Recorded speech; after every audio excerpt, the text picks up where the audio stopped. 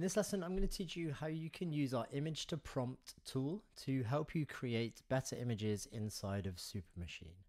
So one thing that is common for a stable diffusion based image generator is you just paste in or you just write a prompt like this to try and create an image. So a large Buddha sitting on a hill, you might choose a stable diffusion XL model. Let's go with crystal clear XL and you just hit generate and you hope that the image will come back exactly how you want it without any further uh, prompts at all.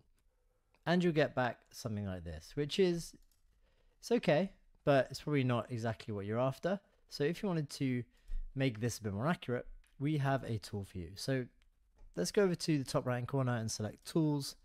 We're going to upload an image of something we really like and want to try and recreate for ourselves. So in this case, we're going to choose this image of a statue of a Buddha, which I found online, and we're going to click convert to prompt.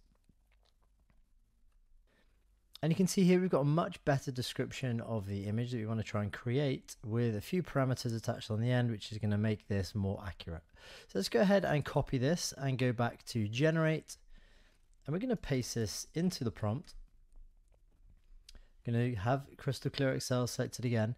And we're going to create, just click generate. And we're going to be able to compare simply the change of prompt and see how this affects the image.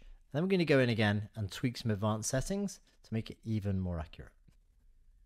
Okay, here we go. This looks a bit more like the one we wanted to create. Um, we've got some clouds, we've got some mountains, we've got the base. Let's say, let's go in and tweak it even further. So we wanted to actually make it uh, 16 by 9. So this is a long image click advanced settings, we'll select this one. Um, let's go and up the steps to make it a little bit more accurate. We'll leave the creativity at 7 and I'm going to change the sampler to something, but we'll cover that in another video. Then we press generate and we're going to see how this affects it too. And there we have it. We have pretty close to what I think was the image we uploaded originally.